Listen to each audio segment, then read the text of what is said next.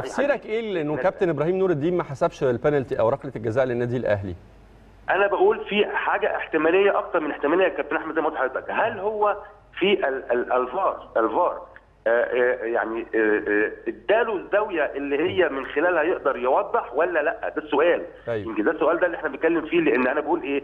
من فضلك هات أفضل زاوية للحكم عشان يقدر ياخد بيها القرار ولو أنا النهارده جيت لحضرتك قلت لك تعالى شوف القرار دوت وما اديتلكش الزاوية اللي هي توضح المخالفة بتبقى في صعوبة في اتخاذ القرار. ولكن إحنا بنتكلم كمشاهدين. هي نفس اللي إحنا شفناه اعتقد الحكم شافه.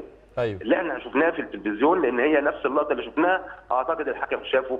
هو حضرتك. حضرتك شخصيا يا كابتن ناصر محتاج تشوف زاوية تانية عشان تبقى اللعبة واضحة بالنسبة لك؟ يعني الزاوية اللي إحنا شايفينها دي؟ طبقا للبروتوكول يا كابتن أحمد أنت آه. بتجيب لي أكتر من زاوية آه. عشان أقدر أشوف المخالفة بشكل واضح. آه ليه؟ عشان كده بنقول إيه؟ الكاميرات اللي في الميدان اللعب هل هي كافية للنقل ولا مش كافية؟ مم. لأن إحنا قلنا إن في بروتوكول بيقول النهارده أقل شيء في الملعب ست كاميرات أو ثمان كاميرات إلى مثلا 12 أو 18 كاميرا في الموجودة في الملعب. أيوة. طيب أنا النهارده المفترض أنا كحكم الفار وظيفتي إن أنا أوضح وأتيح للحكم أفضل زاوية لاتخاذ القرار.